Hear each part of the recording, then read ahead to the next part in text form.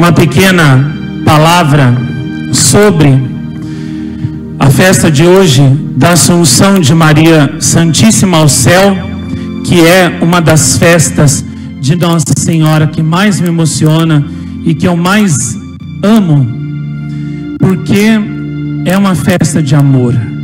Nossa Senhora foi para o céu para lá nos amar ainda mais intensamente e para lá, junto do seu filho, sentada à direita dele, nos socorrer com seu amor materno, com as suas graças, com a sua poderosíssima intercessão, muito mais eficazmente, se assim podemos dizer, do que ela já fazia na terra.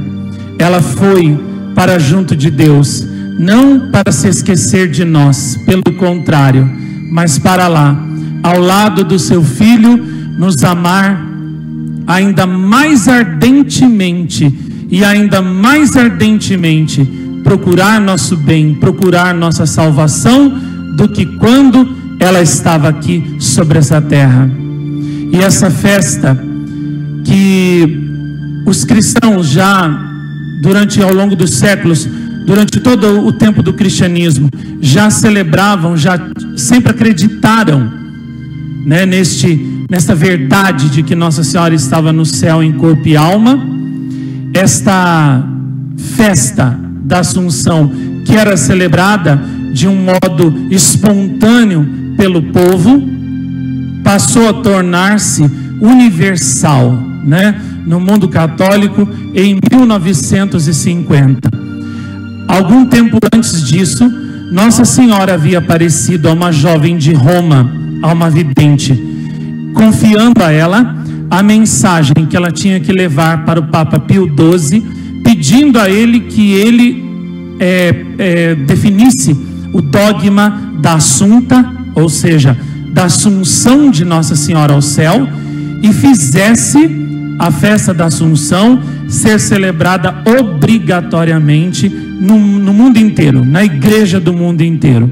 Essa jovem vidente foi até o Papa, transmitiu a mensagem ao Papa e acrescentou: Nossa Senhora me disse que ela vai aparecer para um protestante, ela vai converter esse protestante e ela vai dar a esse protestante que é completamente ignorante, né, das, das coisas católicas, das verdades católicas, ela vai dar para ele a mesma mensagem que deu para mim, que ela foi assunta ao céu em corpo e alma antes de passar pela morte e que o Senhor deve é, fazer, é, é, promulgar, né, o, proclamar o dogma da assunção de Nossa Senhora ao céu, tal como, né, o Papa Pio IX proclamou o dogma da Imaculada Conceição. O tempo passou, de repente, um certo dia, chega no Vaticano um menininho chamado Gilles, da cidade de Spies, na França, e esse menininho de apenas quatro anos de idade conseguiu com seu pai uma audiência com o Papa Pio XII e então disse a ele: Nossa Senhora apareceu para mim em Spies e ela me mandou vir aqui até o Senhor com uma mensagem. Ela disse que ela foi para o céu em corpo e alma antes da morte e que o Senhor deve proclamar essa verdade como um dogma para o mundo inteiro. E o menino não sabia de nada, que a outra vidente, que era da Itália, de Roma, havia dito ao Papa. Mesmo depois dessa segunda confirmação, ele ainda tinha dúvidas se ele devia proclamar o dogma da assunto ou não. Foi aí que então, pouco tempo depois, chegou até ele um homem que disse para ele que era protestante. Um dia ele estava de frente à gruta de Trefontane, um lugar mal afamado de Roma, aonde muitos é, casais iam para fazer pecados dentro daquela gruta, né? É, e ali é, ele estava fazendo, escrevendo um sermão contra Nossa Senhora, que ele ia é, é, é, ler na igreja dele protestante naquele dia, dia 12 de abril de 1947. E os filhos dele estavam ao redor dele brincando com uma bola. A bola caiu dentro da gruta, as crianças foram lá buscar a bola, só que não saíram mais. Quando ele se deu conta, viu que as crianças tinham sumido, começou a procurar as crianças. Achou os filhos dele dentro da gruta, parados, olhando para um ponto fixo e dizendo: Bela Madonna, bela Madonna. Não entendendo o que estava acontecendo com os filhos, assustado, ele pediu a Deus, né, ao Deus dele, o Deus protestante, que o ajudasse. De repente ele viu duas mãos que vieram até os olhos dele e arrancaram algo dos olhos dele que lhe causaram uma grande dor. Quando aquelas mãos arrancaram aquela coisa dos olhos dele, ele começou a ver a mãe de Deus, que os seus filhos já estavam vendo, vestida com um manto verde, um vestido branco, rosado, quase branco, um, um cinto na cintura, uma faixa na cintura, tendo nas mãos uma Bíblia e ao lado dela uma cruz quebrada. Nossa Senhora, olhando para ele, seriamente disse: Agora basta, chega, basta de me perseguir. Agora você vai entrar na verdadeira grei do Senhor. Ele perguntou a ela quem ela era, e ela disse: Eu sou a Madonna, a Nossa Senhora da Revelação. E então Nossa Senhora fez com que ele é, caísse de joelhos, e ela então revelou para ele toda a verdade sobre ela, e inclusive disse: Eu quero que você vá até o Papa, que você entregue para ele o punhal que você comprou para assassiná-lo, e que você diga a ele que eu apareci para você nessa gruta, que antes era lugar de pecado e agora será lugar de graça. E que você diga a ele que eu fui para o céu em corpo e alma antes da morte e que ele não deve duvidar mais, mas deve proclamar ao mundo todo o dogma da minha assunção ao céu. E então, Bruno Cornatiola, que já havia se levantado convertido, né? vai até o Papa, entrega o punhal que ele havia comprado para matá-lo e conta ao Papa tudo que Nossa Senhora havia lhe dito, o que deixa o Papa Pio XII perplexo, né? Mas mesmo assim o Papa ainda hesita se deve proclamar o dogma da assunto ou não, porque isso iria atrapalhar o ecumenismo e enfurecer os hereges protestantes. E aí então ele pede um sinal decisivo a Nossa Senhora. E eis que então, andando pelos jardins do Vaticano, ele vê o sol começar a girar na frente dele, mudar de cor, como em Fátima, e aí então ele finalmente se convence de que ele deve proclamar o dogma da Assunta, coisa que em 1950, depois de mandar três videntes até ele, de diferentes lugares que não se conheciam, para dar para ele a mesma revelação. E importante frisar: Bruno Cornaciola era protestante, ele não sabia da mensagem que os outros dois videntes haviam transmitido ao Papa, por sinal em segredo. Nem ninguém, aliás, em Roma sabia dessas revelações, porque esses videntes haviam falado com o Papa em privado e o Papa não havia divulgado para ninguém as revelações que havia recebido dos dois videntes antecedentes, né? Então ele não tinha como saber da revelação da mensagem. Então não há sombra de dúvida nenhuma, né, de que eram revelações de Nossa Senhora para vários videntes diferentes, né?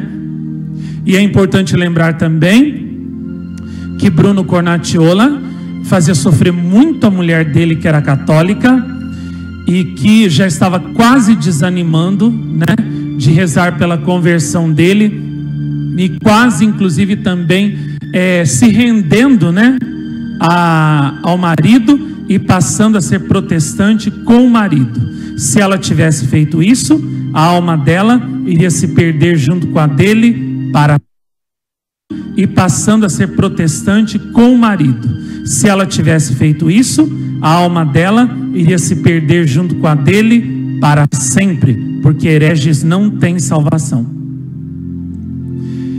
O que, é que ela fez então?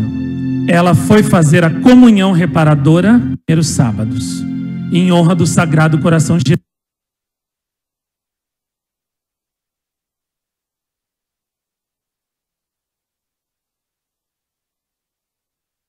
Mais fazer nove primeiras sextas-feiras de comunhão na igreja. Mas você pode. mais fazer nove primeiras sextas-feiras de comunhão na igreja. Mas você pode, diante da imagem do Sagrado Coração de Jesus, e oferecer isso ao Senhor pela conversão também daquelas pessoas da sua família que você deseja, né? Que você quer, que você pede, e rezar o terço do Sagrado Coração. Bruno Cornatiolo convertido, né? Realmente entrou para a Santa Grey, a verdadeira Grey, a verdadeira igreja católica. O Senhor viveu católico até o fim da vida dele. Ele morreu no ano de 2004. Eu tenho uma relíquia que é uma reportagem italiana é, dois anos antes de morrer, contando todas as aparições de Nossa Senhora a ele, né? E também é, foi a ele que Nossa Senhora deu uma das mais lindas mensagens de Nossa Senhora que eu já vi, onde Nossa Senhora disse assim, né? É, se fosse necessário, eu, né? Se o meu filho não tivesse se oferecido por si, aos soldados para morrer pregado na cruz pela humanidade, eu, meus filhos, amo tanto vocês que eu iria me entregar aos soldados no lugar dele para que eles me pregassem na cruz para salvar vocês. Para mim é uma das mais lindas mensagens de Nossa Senhora e foi dada para esse filho protestante que ela converteu na gruta de Trefontane.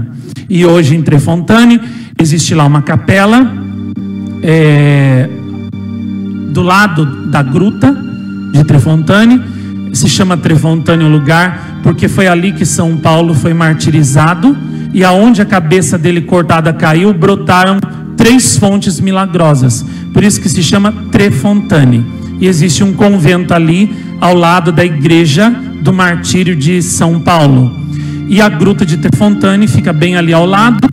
E existe uma, uma capela ao ar livre, um, como se fosse um galpão, né? Uma cobertura ao ar livre é, ao lado da gruta. E todos os anos, no dia 12 de abril, que é o aniversário das aparições de Trefontane, acontece o milagre do sol em Trefontane. E quem vai lá vê, presencia o milagre do sol como em Fátima, né? Nossa Senhora confirmando que ela nunca saiu de Trefontane, está viva ali, mesmo depois da morte do vidente, está ali viva, e por isso continua, continuam suas graças, continuam seus sinais. A Assunção de Nossa Senhora ao céu foi ardentemente defendida por vários santos, mas especialmente por Santo Afonso Maria de Ligório. Ele dizia: não poderia o corpo que deu a sua substância ao Verbo de Deus para fazer-se homem sofrer a corrupção do túmulo. Essa corrupção, que é um castigo a todos os filhos de Adão e Eva pelo pecado original, não podia afetar o corpo imaculado de Maria, não contaminada pela culpa do pecado original. E também Santo Afonso sempre dizia: esse é o argumento mais lindo que ele deu para defender a Assunção de Nossa Senhora e que eu mais amo. Qual construtor faria, qual arquiteto faria uma casa para si, para depois permitir que esta casa fosse destruída por seus inimigos? Assim, Jesus, que fez o corpo de Maria para ser sua morada, o Espírito Santo, que fez o corpo de Maria para ser seu templo, Deus Pai, que fez o corpo de Maria para ser seu segundo céu, não podia permitir que a morte para ser seu segundo céu não podia permitir que a morte, né, e a corrupção, fruto, né, do pecado, pudesse destruir aquela habitação santíssima que era seu segundo céu, sua morada, seu templo.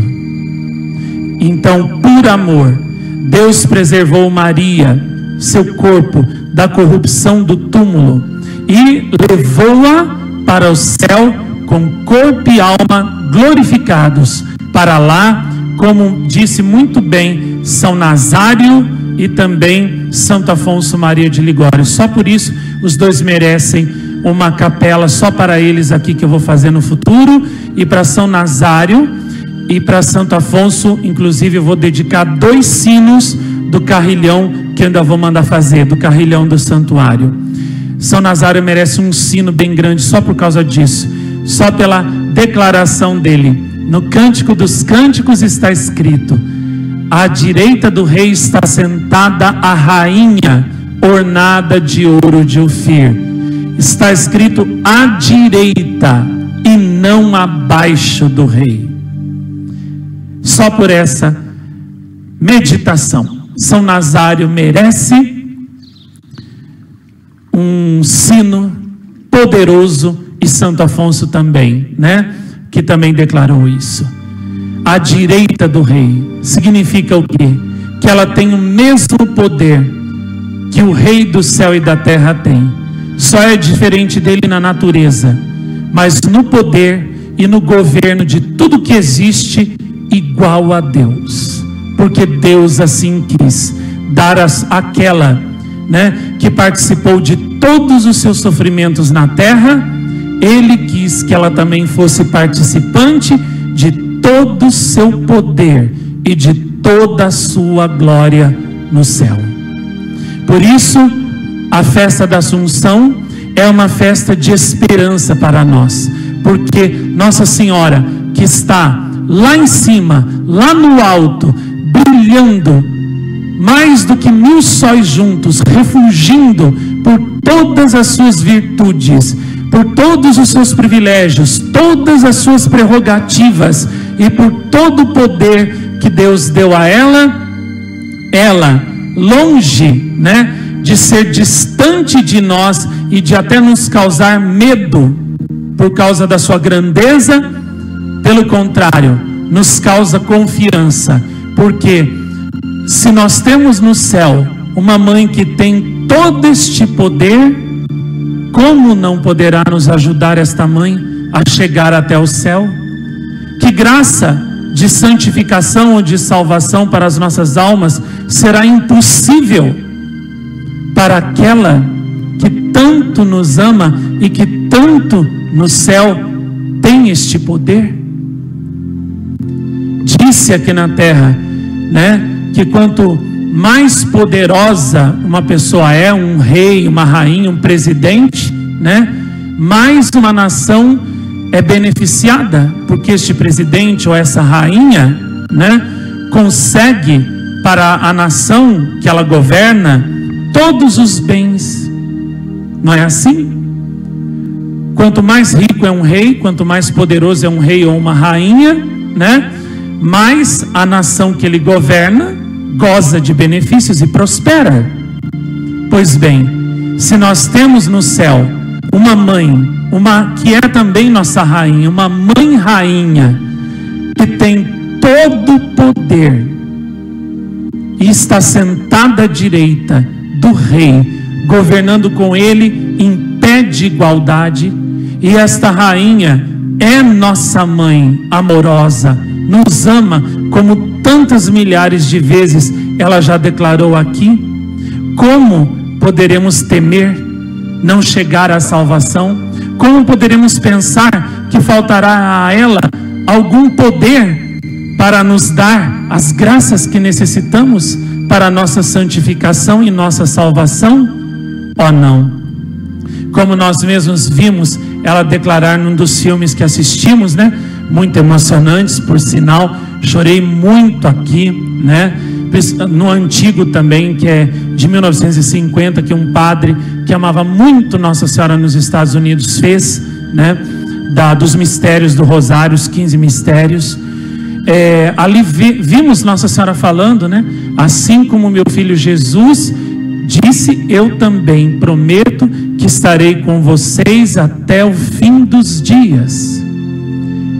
Se essa mãe nos ama tanto assim, está conosco, é nossa mãe amorosa e é a mãe mais poderosa do universo, a rainha que governa o céu e a terra em pé de igualdade com seu filho, como te diz no Cântico dos Cânticos, que poderemos temer por nossa salvação, se essa mãe é favorável a nós, se essa mãe nos guia, se essa mãe nos conduz, se essa mãe nos orienta, nos aconselha, se ela é por nós, como poderemos temer?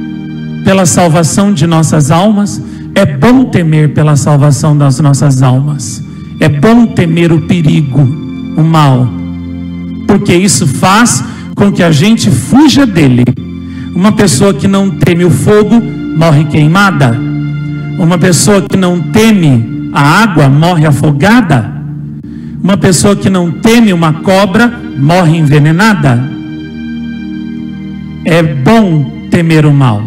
É bom temer, né?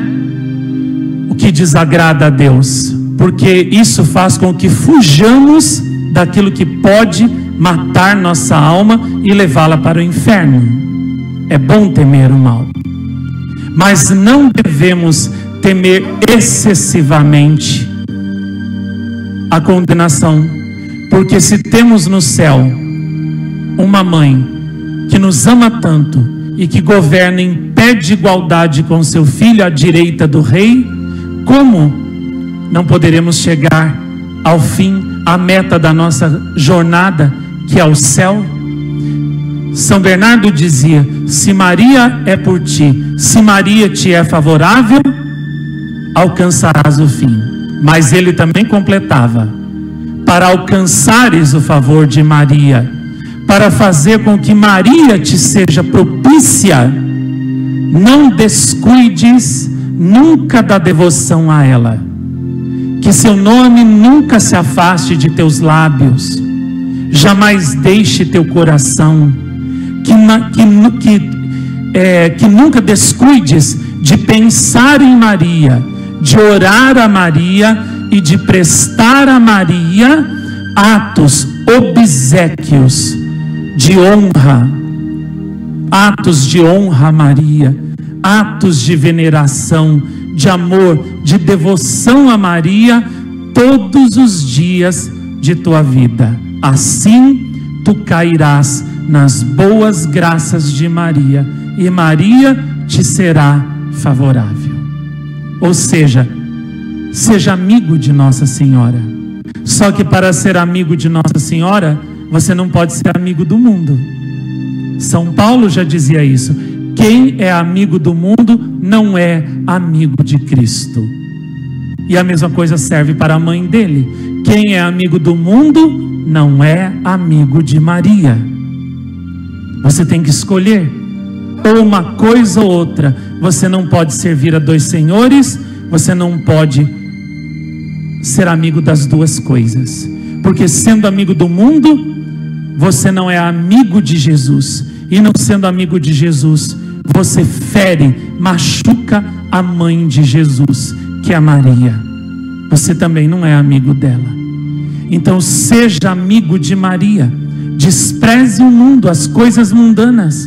Despreze tudo aquilo que te afasta dela, que te afasta de Jesus, que te faz perder o gosto pela oração, o gosto pelas coisas santas despreze não só as coisas, mas até as pessoas que te fazem ser menos amigo dela, menos amigo do filho dela, porque essas pessoas irão te levar à perdição da sua alma. E eu te digo, uma amizade não vale a salvação da sua alma. Nada vale mais que sua alma. Salve sua alma pelo amor de Deus e rompa logo com tudo aquilo que te faz a cada dia perder mais a salvação da sua alma. Você só tem uma alma. E se você perder a salvação desta única alma, está perdido para sempre. Nenhuma amizade vale isso. Nenhum amor, nenhuma pessoa vale tanto ou vale mais que a sua alma ao ponto de você preferir perder a sua alma para agradar a ela, para ser amigo dela, para gostar dela. Não faça isso. Rompa com o mundo e prefira ser amigo de Nossa Senhora, a única que na hora da morte poderá ser sua amiga de verdade e defender você no tribunal da justiça de verdade, se você for amigo dela a vida toda. Por isso, faça como São Bernardo disse: caia nas boas graças de Maria, torne Maria propícia a você, favorável a você, amando a Maria, pronunciando, falando de Maria continuamente. Jesus disse: a boca fala do que o coração está cheio. O coração que está cheio de terra, né, é, de, de, sexo, de é, dinheiro, é, bens materiais, só fala disso, né? A, o coração que está cheio de Maria, fala de Maria o tempo todo. Gostei muito do que meu pai Carlos Sadeu disse aqui domingo passado, que quando é, a gente se fala pelo telefone, gente, às vezes a gente fala 50 minutos, uma hora, e, a, e aqueles 50 minutos ou uma hora a gente só fala de Nossa Senhora. E ele diz: por que, que ele só fala de Nossa Senhora comigo? Não fala nada de coisa mundana comigo? Porque o coração dele está cheio de Nossa Senhora, só tem isso. Por isso a boca transborda, só Maria, só Nossa Senhora o tempo todo. E é assim, quem tem o coração cheio de Nossa Senhora, só transborda Nossa Senhora. Quem tem o coração cheio das mensagens de Nossa Senhora, das aparições de Nossa Senhora dos Santos, só transborda isso para os outros. Não pode transbordar terra, porque não tem terra no coração. Quem só fala de coisas da terra, mostra que o coração só tem terra, mais nada. Um poço não pode verter areia, só pode verter água se ele estiver cheio de água. Não pode dar areia, não pode vender, verter areia, não é? Então, se o nosso coração estiver cheio de Nossa Senhora, é isso que ele vai transbordar e é isso que a nossa boca vai falar o tempo todo, só dela, de seus privilégios, seus dogmas, suas prerrogativas, suas aparições, suas mensagens, enfim, ela. Sempre ela, né? E é por isso que quem fala sempre de Nossa Senhora cai nas boas graças dela, porque o próprio Espírito Santo disse dela no livro lá do Eclesiástico, né? Vivo perto de quem me bendiz.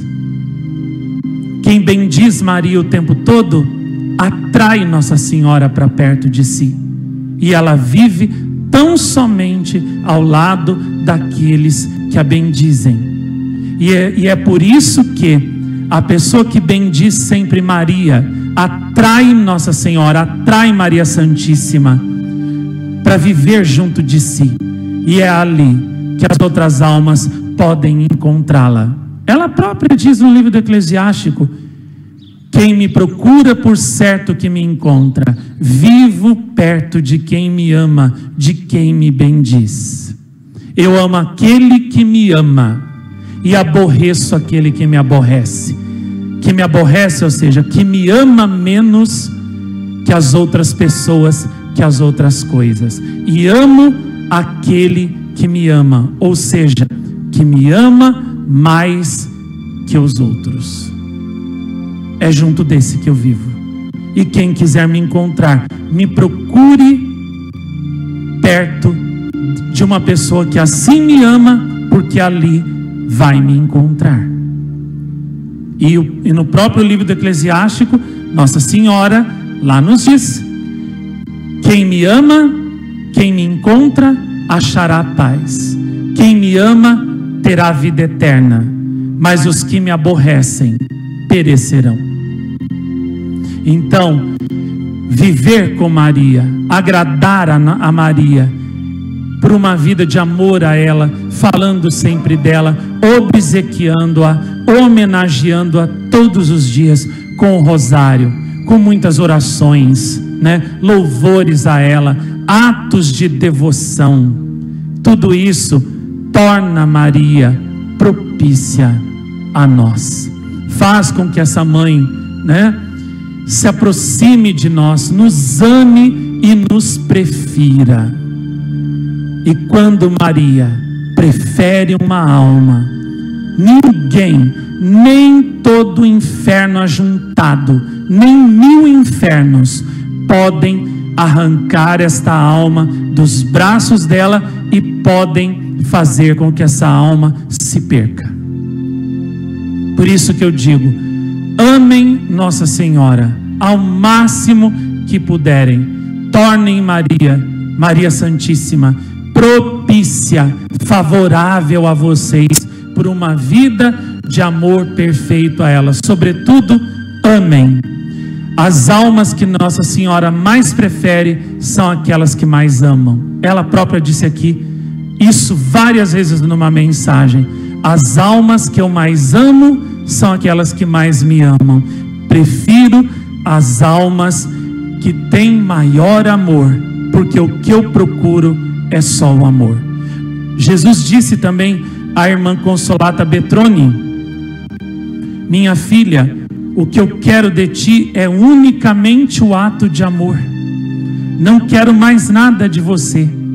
Quero apenas o ato incessante de amor. Procuro o amor, busco o amor nas almas, mas só encontro soberba, só encontro palavras e não encontro amor de fato. Em você, minha filha, o que eu quero, o que eu busco é o amor. Então, dê-me o ato de amor incessante e você terá me dado tudo, tudo que eu quero, porque o que eu quero é o amor. Ame, ame intensamente, ame com amor ágape, né? Termino com um exemplo. Essa semana eu não sabia, né, disso. Conversando com o Vini, né, o meu filhote, e conversando com ele, né, que eu converso muito com ele quando eu tenho tempo, né, porque aqui é muito corrido. Mas às vezes eu converso um pouquinho e eu procuro saber como é que era antes, né, de você vir, como é que era a sua vida, o que, que você fazia, o que, que você gostava, né? Então, às vezes naqueles cinco minutinhos ali, a gente bate um papo. E aí ele falando para mim, né, perguntando para ele como é que é, é, como é que era como é que era a vida dele antes, né? Esses dias também eu subi no terceiro andar, onde vai ser um dos quartos vai ser dele, estava lá mostrando para ele como é que vai ser, como é que está ficando e tudo. Aí falei, e aí, você está ficando contente, feliz? Aí ele falou que sim, tudo. Perguntei para ele, e aí, como que é? Como que era a sua casa lá onde você morava com seus pais, né? Aí ele foi me contando que era assim, que era assado, né? Que primeiro começou menorzinha, né? Depois o pai dele foi trabalhando, foi aumentando. Mas eu fiquei sabendo de uma coisa que eu não, não sabia, né? Ele disse que a casa dos pais dele não está terminada ainda, né? As paredes ainda não foram é, terminadas, pintadas, né? Ainda está assim, dá para ver o bloco que nem aqui, né? Na parte de baixo da capela que ainda não está revestida, que vou revestir em breve, né? O telhado, né, também precisa de reparos, precisa de conserto, né? Porque quando chove, né, tem goteira, e eu sei o que é isso, porque na minha casa, quando eu era criança, né, era pura goteira. Minha mãe não tinha dinheiro para consertar. Meu pai pôs tudo a perder, né? A mercearia que minha mãe tinha, o dinheiro, ele esbanjou tudo com bebida, com mulheres, acabou com tudo. A gente é, passava muito aperto, muito, né? Eu me lembro que teve natais que todo mundo estava comendo lá seu sua ceia, né? Seu peru, que é aquele cheiro de comida delicioso da vizinhança, né? E em casa só tinha arroz. A minha mãe não conseguia nem comer aquilo. Ela chorava. E ela perguntava para mim se eu aceitava comer. E eu dizia que sim, que eu aceitava. Nesse ponto eu era uma criança muito humilde. Eu falava: Não, eu como sim, mãe. Pode me dar aqui que eu como. Muito obrigado. E ainda rezava e agradecia a Deus. E aquilo ali era todo dia. Quando tinha um ovo, era, era porque a coisa tinha melhorado muito. Entendeu? Por muito tempo, acho que uns quatro anos, foi só arroz, arroz, arroz, todo dia. Natal, Ano Novo, todo dia, era só arroz. Não adiantava. Eu ia para a escola, é, só, comia só arroz. Eu me lembro que na, na hora do intervalo eu não conseguia nem comer a merenda, porque o cheiro da merenda embrulhava meu estômago e eu vomitava. Porque eu estava tão fraco e, e, o meu estômago tão, tão assim, enjoado com aquele arroz que eu tinha comido, que só de sentir o cheiro da merenda eu vomitava, eu não conseguia nem comer, de tanta fraqueza, né? Mas a gente continuava indo em frente. Em momento algum a gente brigou com Deus, a gente reclamou. Eu nunca reclamei, nunca falei, né? Né que nunca briguei com Deus por causa disso, dessa situação. E a nossa casa era toda cheia de goteira. Quando chovia, minha mãe tinha que colocar um plástico em cima da cama da gente, porque era pura goteira e panela para tudo quanto é lado, né? Não tinha nem aonde ficar. No começo, antes daquilo lá, a gente, a gente nem tinha onde ficar, a gente passava a noite inteira acordado com aquela água caindo em cima da gente, né? E o Vini falou que o telhadinho, né, da casa dele lá também tinha esse problema, né? E aí eu fiquei pensando, nossa, ainda continua do mesmo, da mesma forma. Eu fiquei pensando, nossa, o pai do Vini, né, a mãe dele, né, ajudam tanto aqui o santuário, ajudam tanto o mosteiro, não é de hoje, né? Às vezes que, que eles me entregaram no envelopinho, né, a contribuição deles, e juntando tudo, daria para eles terem arrumado a casa deles, tirado as goteiras do telhado, trocado o telhado, terminado as paredes, terminado a casa, o, o, é, feito um outro chão, né? Enfim, ter, ter colocado um forro, uma laje na casa, teria dado, teria dado. Mas no entanto, né? Ao invés de pensar em si, eles preferiram pensar em Nossa Senhora em primeiro lugar, no santuário e em mim também, né? Para poder eu sair da friagem que eu passava aqui em cima com as janelas abertas aqui, né? Sem vidro, tendo uma pneumonia atrás da outra e tanta coisa, infecção, as doenças que eu, que eu tive por causa disso, que enfraqueceram a minha resistência, né? Física, o imunológico para eu sair dessa situação de sofrimento, né, e poder dormir num quarto com uma janela fechada, sem a friagem que faz aqui, né?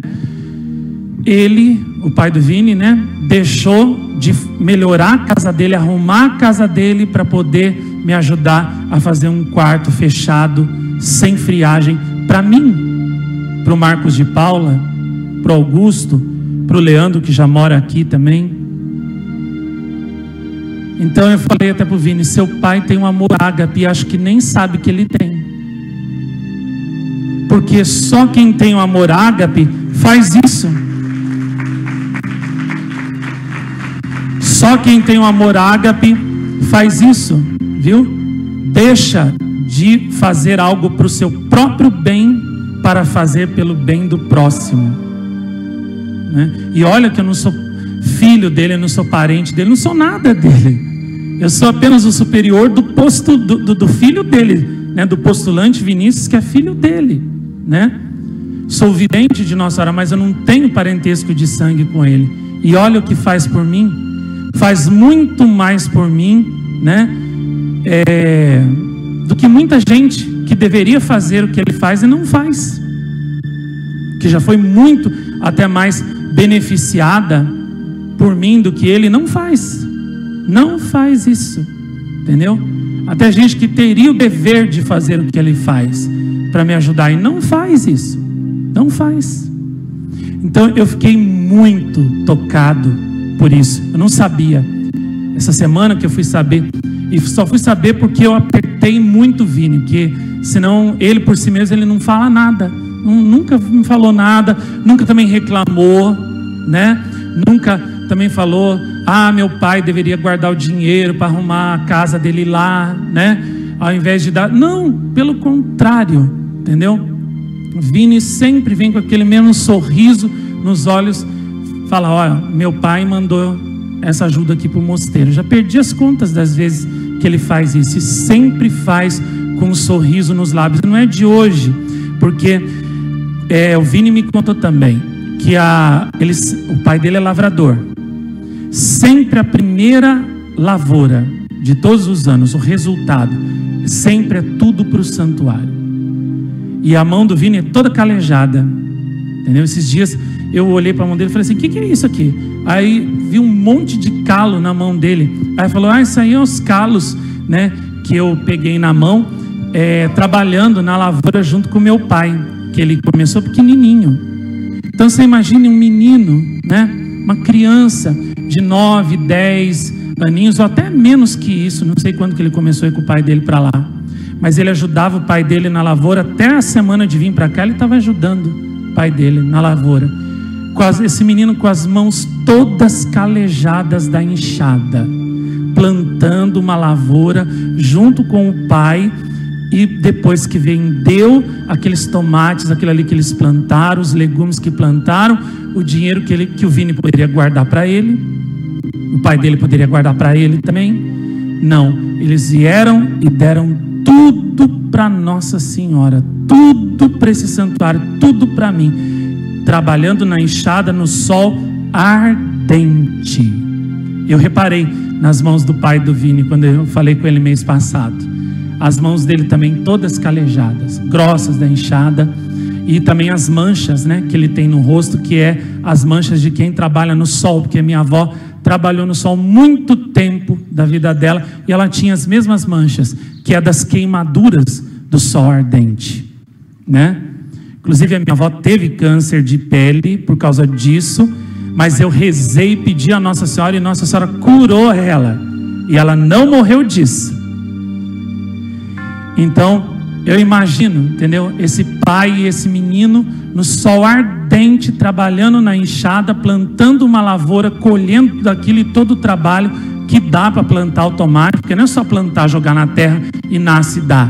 Tem que saquear, tem que passar remédio para não dar praga, tem que é, podar, né? Você tem que cuidar da planta, porque senão não dá certo. Perde tudo que você planta, tudo, tudo você, vi, você vive mais no tomateiro do que na própria casa. O tomateiro vira a sua casa, a lavoura vira a sua casa. Você não pode descuidar um minutinho, senão estraga tudo que você planta. E esse menino lá com o pai, com as mãos calejadas da enxada, trabalhando para Nossa Senhora, trabalhando por mim. Aqui nessas paredes aqui ó, dessa capela está o suor deles, entendeu? O resultado do sacrifício, do trabalho deles. No concreto dessas colunas que eu enchi com baldinho, né? Eu, Marcão, Augusto, a gente enchi isso aqui com baldinho até chegar em cima.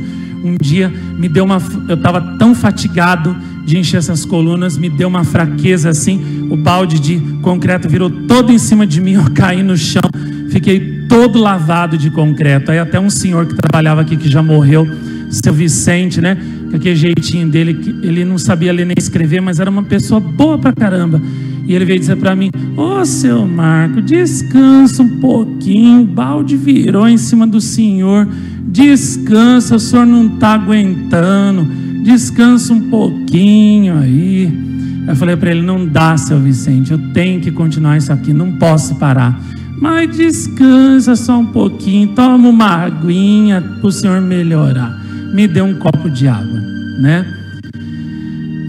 Você vê nessas colunas aí, nesse concreto, está o suor deles, desse pai, desse filho, nesse mosteiro, né? Está o suor deles, está o sacrifício deles, o trabalho deles, a mão calejada deles na enxada, né? Aí, quando eu soube disso, eu falei assim: Meu Deus, eu não acredito. Onde é que eu estava que eu não sabia de tudo isso? Né?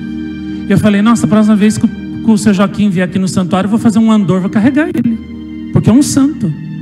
Só um santo pode fazer uma, um negócio desses, entendeu? Você deixar de fazer para você as coisas, arrumar a sua casa para poder ajudar uma outra pessoa, entendeu? que, como dizia no filme, né? Nossa Senhora cuidou daquela menina, criou aquela menina órfã. Ela não tinha obrigação de fazer aquilo. Ela fez por amor. Por puro amor. Aí você vê o amor ágape. E a mesma coisa, né? É o que o pai do Vini faz. Faz comigo. Ele não tem obrigação nenhuma. Entendeu? E no entanto, me ajuda tanto. E em silêncio. Nunca me falou nada, danado. Nunca me pediu nada também por causa disso em troca. Ó, eu ajudo você, eu deixo até de arrumar minha casa para poder ajudar você a fazer o mosteiro. Vem aqui, você tem que me atender, você tem que falar comigo, você tem que dar atenção para mim, tratamento especial, me tratar com mordomia, você tem que, que rezar por mim, você tem que fazer tudo que eu pedir, tudo que eu quiser. Nunca me pediu nada, nada, nada, nada. E todas as vezes que eu falei com ele, que infelizmente por causa da correria não dá para falar muito, todas as vezes que eu falei com ele, a única coisa que ele fez foi só me agradecer, não pediu nada, só me agradece por tudo, pelos cenáculos, pelas aparições, por tudo que eu faço pelo Vini, pelo filho dele. Nunca me pediu nada, absolutamente nada. É uma pessoa que eu posso chegar perto dele, que eu não, eu não tenho preocupação. Ih, essa pessoa vai começar a me pedir um monte de coisa, vou cair fora dela. Não, pai do Vini, não, não me pede nada não me pede oração, não me pede graça, favor, atenção, tratamento especial, mordomia, entendeu? Não me pede nada, absolutamente nada, só agradece, só agradece, agradece, agradece, conta dos cenáculos, também conta né, das pessoas que estão se convertendo, conta das maravilhas que Nossa Senhora está fazendo, porque ele continua lá, divulgando, né, mais que ele pode as mensagens de Nossa Senhora. Só conta coisa boa. Por isso é uma pessoa que quando eu olho assim, entendeu? Eu quero correr para o abraço com ele. Por quê? Eu sei que vai ser a, coisa mais gostosa do mundo aquela conversa. Porque não, não exige nada de mim, não me cobra nada. E como eu disse, poderia fazê-lo pelo tanto que me ajuda, mas não faz. Entendeu? Não faz. Nunca fez. Entendeu? Tem pessoa que eu já vejo assim, já falo, ih, vou cair fora. Já vai começar a me cobrar, cobrar as coisas. E caio fora, entendeu? Porque eu estou num ponto de estresse tão grande que o médico disse para mim, ó, se afaste de pessoas cobrativas. Você não pode aumentar o seu estresse, senão vai sair desse nível azul que está aqui, vai passar para o amarelo e para o vermelho rapidinho. E daí o seu problema de saúde vai piorar. Então se afaste de dois tipos de pessoas: as que te dão dor de cabeça e as pessoas cobrativas. Entendeu? Pessoa cobrativa cai fora. Entendeu? Não, não vou deixar piorar a minha saúde, não. Entendeu? E fico do lado das pessoas que não me cobram nada. Dessas eu, com essas eu gosto de conversar, eu gosto de falar, porque eu sei que não vão me cobrar, não vão me pressionar. Entendeu? Eu não posso ter esse tipo de estresse. E o pai do Vini é uma pessoa que nunca me cobrou absolutamente nada, poderia fazer e nunca fez. Nunca também me falou das dificuldades que ele tem lá. E nunca disse assim, ó, eu ajudo tanto você, eu ajudo tanto Nossa Senhora, fala lá para ela resolver meus problemas e ajudar eu a terminar a minha casa. Nunca falou também, nunca, nunca, nunca. Então eu fiquei emocionadíssimo. Eu esperei o Vini sair, depois quando eu estava sozinho eu chorei. E eu falei para Nossa Senhora, né? Ai, minha mãe, né? Me ajude, né? A amar essas pessoas, né? Tão maravilhosas. Agora eu acredito que existem anjos, não só no céu, mas na terra também, de carne e osso, sem asas. E eu vi, eu conheci dois anjos, né? Um se chama Joaquim e outro se chama Vinícius, que estavam lá numa lavoura no sol ardente, trabalhando na enxada, chão duro, por essa obra da Senhora, por esse santuário, por essa capela, por mim, né? Que não mereço, que sou só pó e cinza. Agora eu vi que não existem só anjos no céu, não. Os que eu já vi que apareceram para mim, existem na terra também. Não têm asas, não voam, mas a beleza deles não perde em nada para os do paraíso.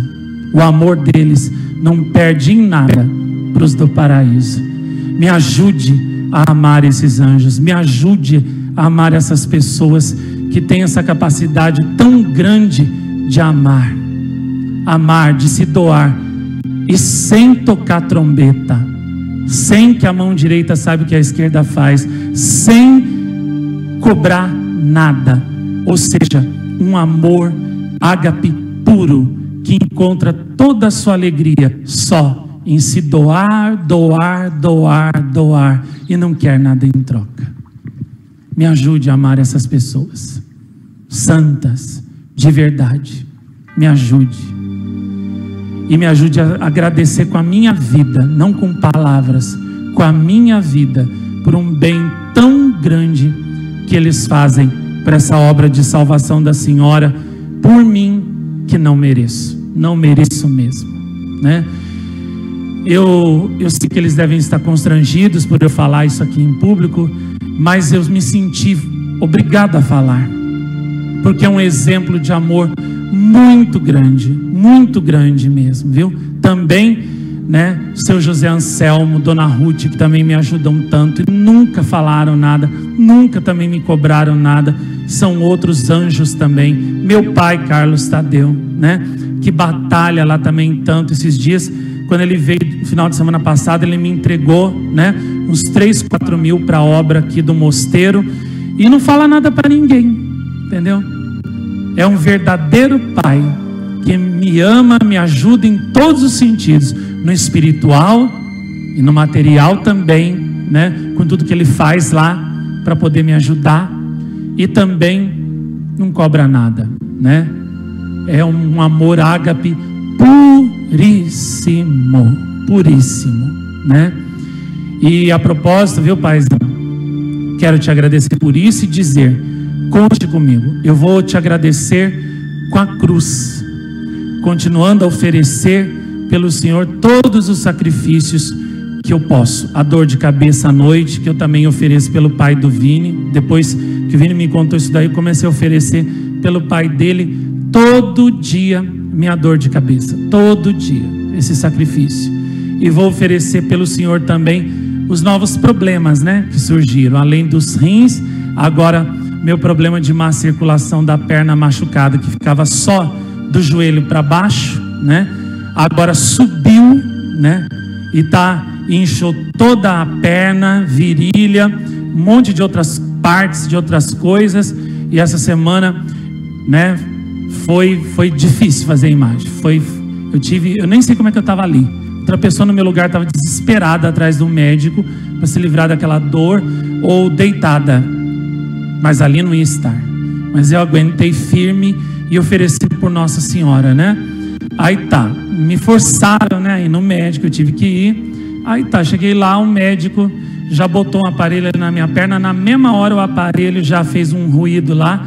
Aí ele falou: Isso, a perna tá não sei o que lá. Falou um termo médico lá que eu não entendi. Aí falou: Pode fazer um ultrassom aí, porque eu vou precisar ver o que está acontecendo na sua perna e tomar as providências logo para não deixar acontecer, ver se é uma trombose interna ou se não é, não deixar acontecer.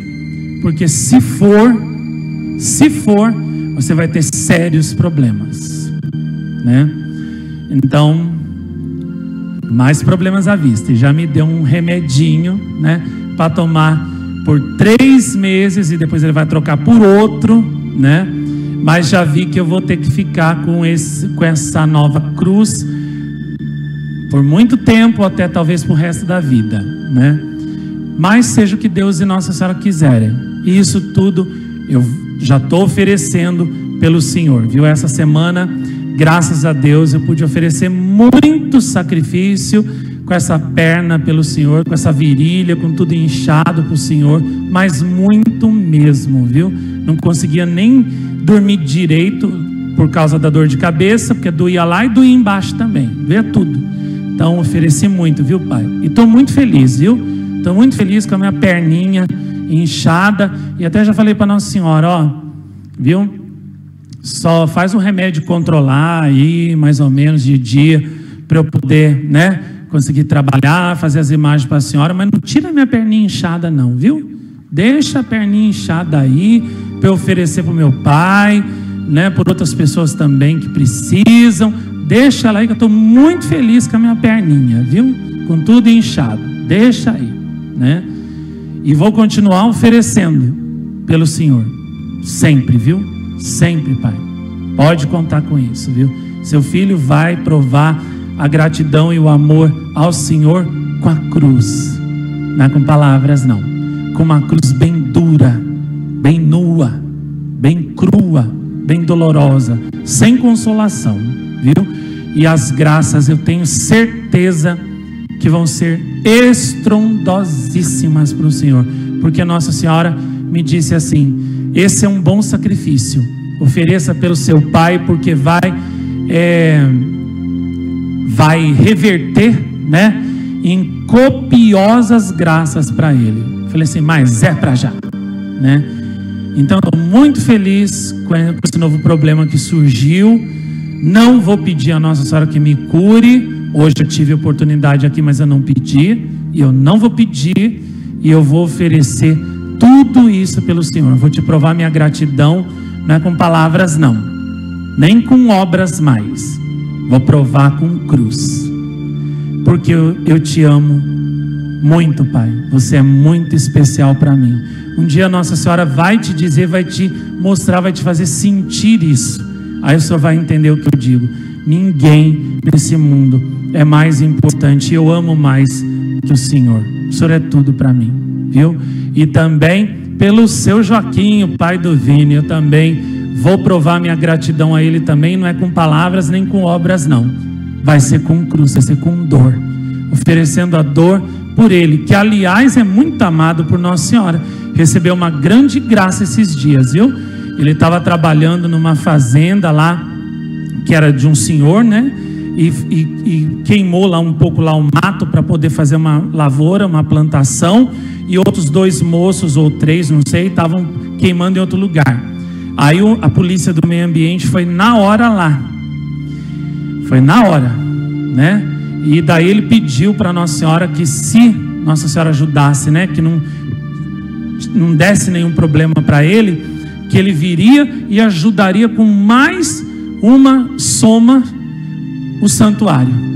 Nossa Senhora ajudou, que não aconteceu nada com ele e, e vocês, eu não sei se vocês sabem, mas com, a, com essas leis aí novas que esses comunistas fizeram, quando essa polícia vai no lugar onde está queimando mato, essas coisas assim, dá voz de prisão para todo mundo, para o dono da fazenda, para quem é responsável, para quem está trabalhando na hora, vai todo mundo preso, todo mundo.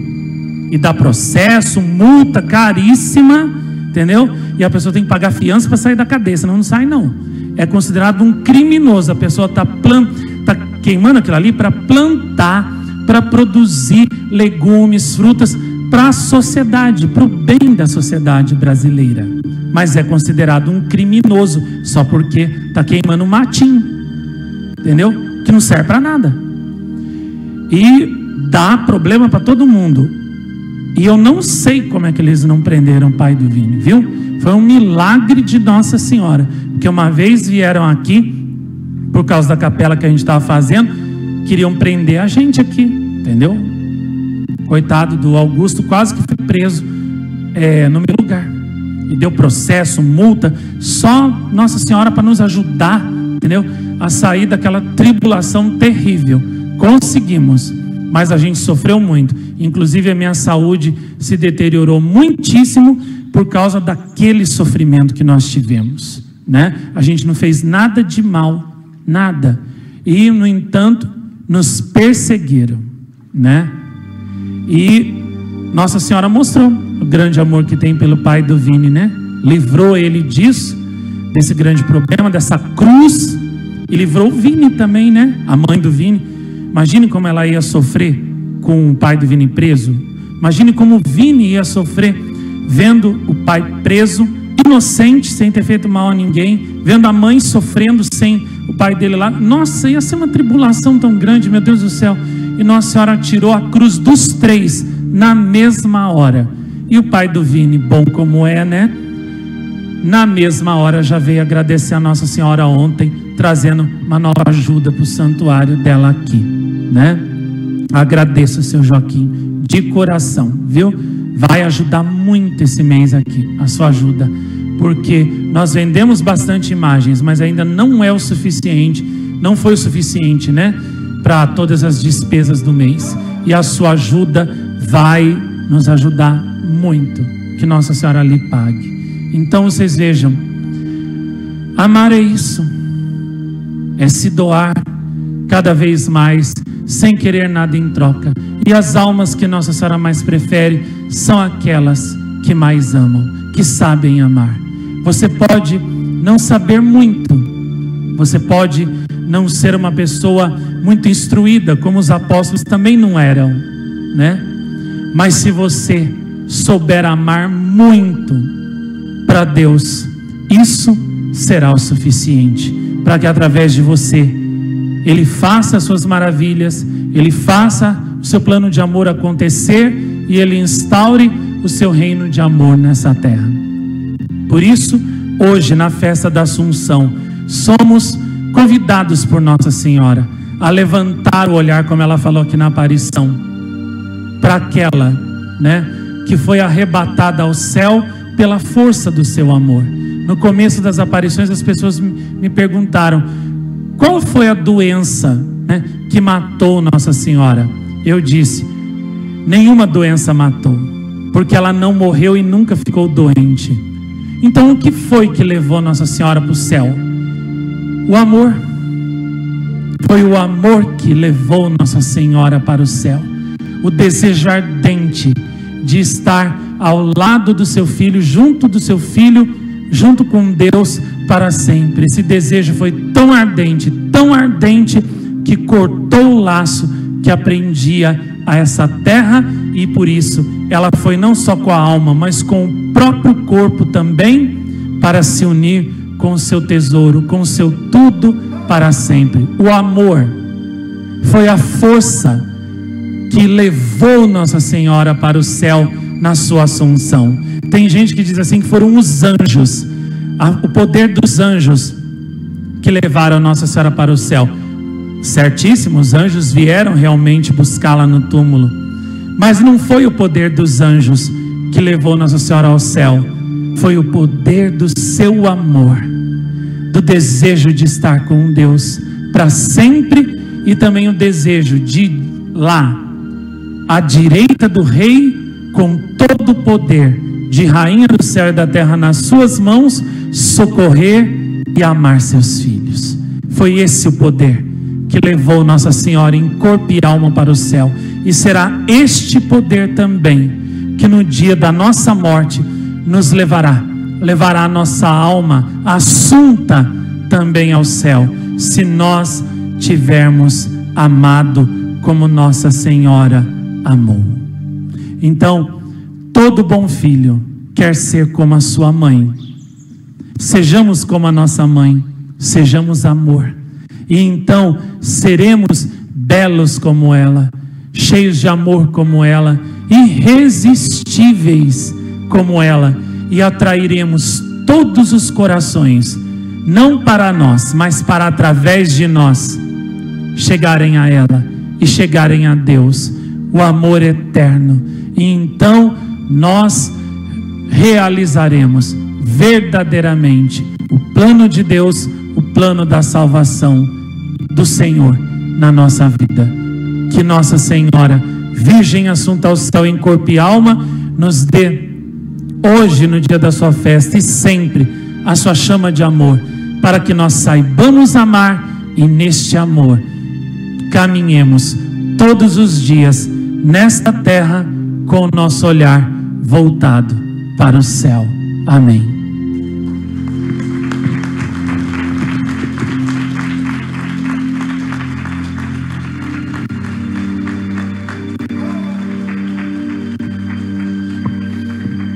Vamos lá, muito bem. Mostra aí para nós o vulto da nossa mãe do céu refletido mais uma vez nos meus olhos.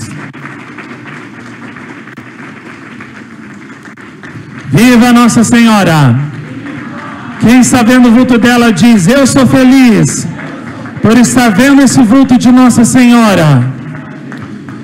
Eu sou feliz por estar nessa obra de salvação de Nossa Senhora. Eu sou feliz por ser um filho escolhido de Nossa Senhora. Eu queria ter um filho assim. Eu sou feliz por ser um filho de Deus.